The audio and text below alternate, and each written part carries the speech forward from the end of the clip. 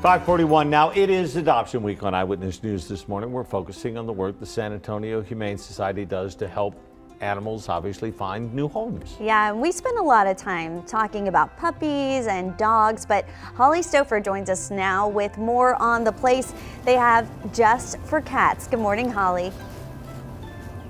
Good morning, Barry and Audrey. So yeah, if dogs aren't your thing, don't worry, there are plenty of cats to choose from at the San Antonio Humane Society. They've definitely got one that's the perfect fit for your home. So in their cat corner, they've got kittens to cats from two months old to nine years old. So whether you're looking for a kitten that has a lot of energy or a more chill, laid back lap kitty, they've got you covered. And just like their dog programs, if you're not able to adopt, they would really love some help fostering too. We're in Texas, so kitten season is year round here. Um, we do see puppies, a lot of puppies come in, but mainly a lot of kittens, um, a lot of litters that come in. And you know, it's a big commitment and it's a big responsibility to become a foster parent. But the great thing about our foster team here at the San Antonio Humane Society is that we give you all the supplies that you need, all the support you need A good amount of support is exactly what's needed to help welcome a new member into your family. Right now, the San Antonio Humane Society has more than a dozen cats and kittens to choose from.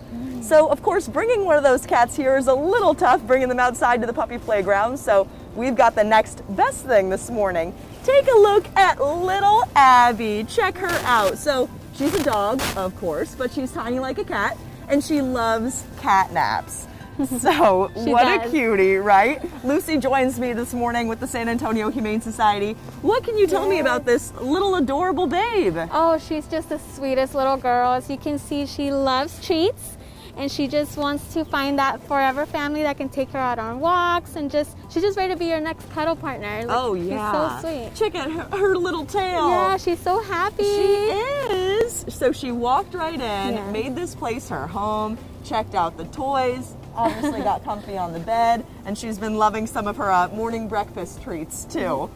Yes, so yes. She is five years old, right? She's five years old, yes, and she's. I think she's just the perfect size for any family, you know, with kids maybe, and she's just so friendly, and I think she was just, you know, like wants to find that family that can take her out on walks and just right. explore and you know just be your little partner to watch Netflix or oh, something. of course. Yeah. I think that she would be great for that. She's so relaxed, so soft. I mean, I'm a little sleepy. I could curl up and take a nap with her myself. Look at that little face. Oh yeah, and that's the good scratchies. Yes, and she's she, like I said, she's five years old, so mm. I mean, she's mm-hmm. already potty trained. We know that, and I Perfect. think she would just be like an easy, easy addition to your family. And she's a newer resident, right? Yes, she is. She's only been with us a, a couple of days. Okay. So I know she's gonna be a favorite already at the shelter. Definitely. She's already winning our little hearts over there. So it won't take much to fall in love with her. She's just so beautiful. Exactly. Super sweet, precious, adorable,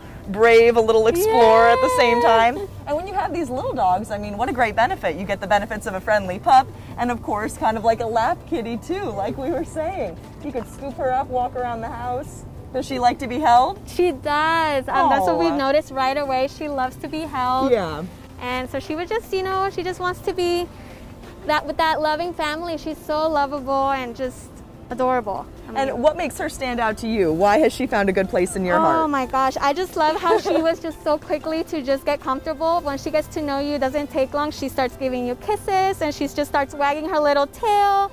Oh, and she, yeah, and then that's the best part oh. that she just wants to cuddle with you. There we go. you hear that, Abby? We are a big fan. And if you're a big fan of her, you know what you got to do stop by the San Antonio Humane Society. Oh, and come give her some love. Yes, yes, we're open every day, 12 to 7, so come on by and we'll, our staff is there ready to greet you and, and take you to meet our wonderful pets. All right, say see you soon.